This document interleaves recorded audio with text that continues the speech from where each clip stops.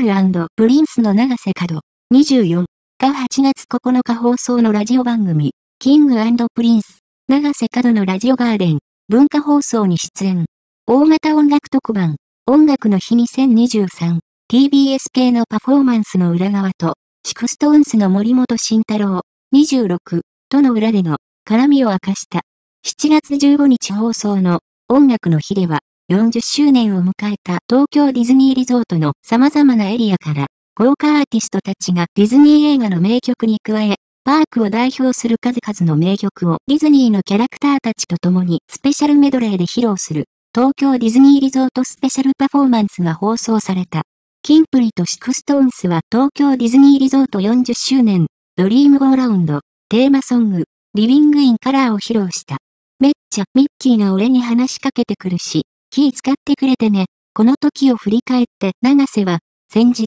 出させていただいた、音楽の日ですよ。ディズニーの皆様と一緒にパフォーマンスさせてもらったんですけどとコメント。また、裏でもすっごい盛り上げてくれて、本当にあのまんまなんですよ。めっちゃミッキーが俺に話しかけてくるし、気使ってくれてねとミッキーマウスが気を使ってくれたと明かした。しかし、俺、ああいうのダメなんすよ。めちゃめちゃ人見知り。俺、全然何喋ったらいいかわからん人戸惑ってしまったといい。向こうももちろん喋れないじゃないですか。だからボディランゲージみたいな。ボディランゲージ苦手なんですよ。僕と当時の心境を語った。続けて、一方通行じゃないですか。会話ってなると。だからどうしていいかわからず、結構、向こうを困らすような感じになってしまったりとかと振り返った。長瀬は、でも、さすがディズニーだなっていうのは雰囲気とかで、俺とミッキーが気まずそうになりかけ天皇を察した仲間たちが、ミニーちゃんが目の前でイチャイチャとかしてくれて、ミッキーとね、うわぁ、と思いながらテンションも上げてくれるわけですよと、ディズニーのキャラクターたちのプロ意識の高さを感じたという。慎太郎だけ NG 出そうかな。キンプリと SixTONES はシンデレラ城の前でパフォーマンスを披露したこともあり、シンデレラ城もすごい綺麗にライトアップされてるから、こんな機会ないし、写真、撮ろうと思ってシンデレラ城を撮ろうとしたら、 SixTONES の森本、慎太郎がめちゃめちゃ画角に入ってくるんですよ。もう、映り込みチャレンジしてるんかっていうぐらいと、森本との裏でのやりとりを解雇。さらに、俺が左側から撮ろうかなと思って移動したら、そこに慎太郎が出てきて、走って移動とかしても、かたくなについてくるから、いけたやろ、と思って写真チェックすると、慎太郎の顔で半分ぐらい締められてるんですよとし、結構、森本が近づいてくるからシンデレラ城の先の尖ってる部分ぐらいしか写ってない写真が何枚もあって、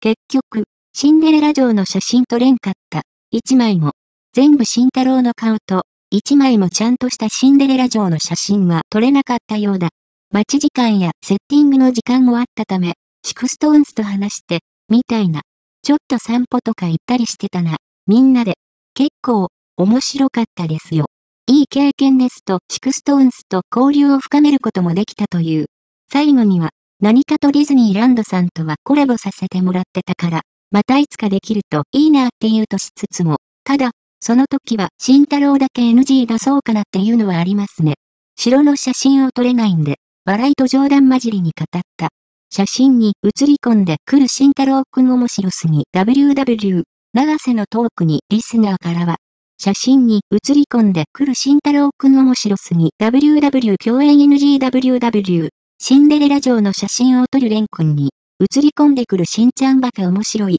ディズニーの話しててミッキーたちに気を使わすなよってなった WWW シンデレラ城の写真に映り込むしんちゃんといい顔すぎて、といったコメントが寄せられた。ミッキーマウスに気を使わせてしまうほどの人見知りを発揮してしまった長瀬さんもすごいですが、すべての写真に映り込もうとする森本さんもさすがですよね。笑い。音楽の日の裏ではディズニーのキャラクターも交えて、キンプリと SixTONES は楽しい時間を過ごせたのではないでしょうか。女性誌ライター。次回のディズニーコラボでは森本だけ出禁になってしまう。画像。二人とも肌しててかわちい。永瀬廉×高橋海人。音楽の日、出演直前の激化オフショット。キンプリは8月12日放送の音楽特番、ライブエール2023 NHK 総合スラッシュ NHKBS4K スラッシュ NHKBS8K にも出演予定。恋、煩いと最新シングル、